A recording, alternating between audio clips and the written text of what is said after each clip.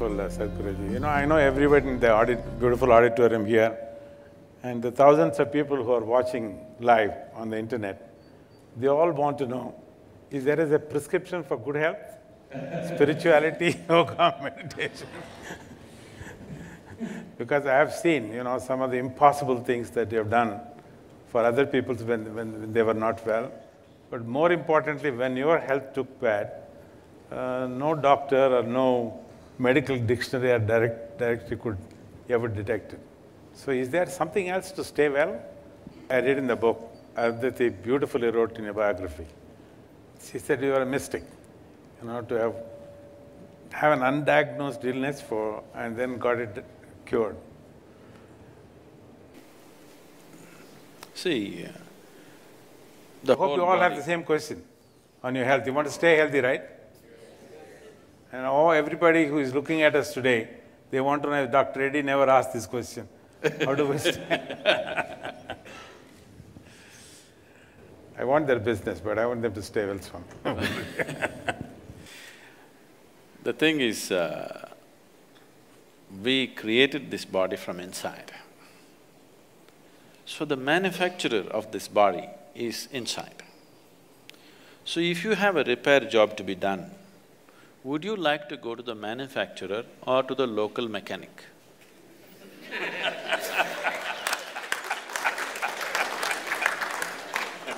If you had excess, if you had excess, you would like to go to the manufacturer. If you lost excess, you will go to the local tinker to do this and that. If there was no medical science as it is, I would say even half the people would be dead by now, here in this audience. Yes. Because uh, the average life expectancy of an Indian in 1947 was twenty-eight years. Today it has risen to sixty-four. One important factor is medical science the way it is. So I am not trying to belittle or make fun of medical sciences. It is very significant, what has been achieved in the last thirty to forty years is phenomenal. The question is just this, if you had access to the source of that which creates this body, definitely every problem that you generate within the body could be handled. Now there are two kinds of ailments, infectious and chronic. Infectious ailments happen to us because of an external invasion from an organism. You must go to the doctor, don't try to meditate on it But seventy percent of the ailments on the planet are self-created. I am saying self-created because it happened from within you. So what is happening from within you can be very easily fixed from within you. What comes to you from outside, you need outside help for that. So you have to fight an organism, then you need medicine. So, the rest of the ailments, almost seventy percent, are self-created. Why would your body work against you? This body is essentially programmed for health. Every cell in this body is programmed for health. Why would it turn against you? Because somewhere you're not keeping it happy. To put it in a very simple language, why would your own family turn against you? Somewhere they're not happy with you, isn't it? yes or no? They're not happy with you with something that you're doing. So similarly, some cells in the body, some parts of your body are not happy with you for some reason.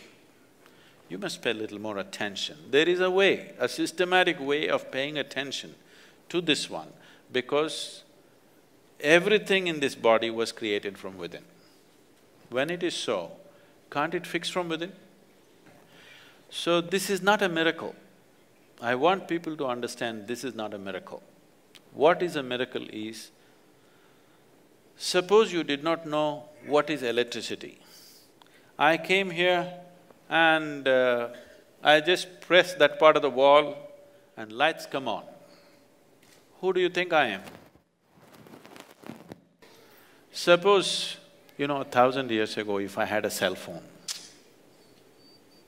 I could just pull out the cell phone and talk to somebody in America, you would think I'm God, isn't it? So what is a miracle is that which you do not understand, that which is not fitting into your and your logical perception seems miraculous to you. As your logic evolves, so many things which were miracles hundred years ago are normal things in our day-to-day life today, isn't it? Isn't it so? So it is not a miracle, it's just a deeper understanding of your… your… of your own… the way you're constructed. So this is something that we need to pay attention to.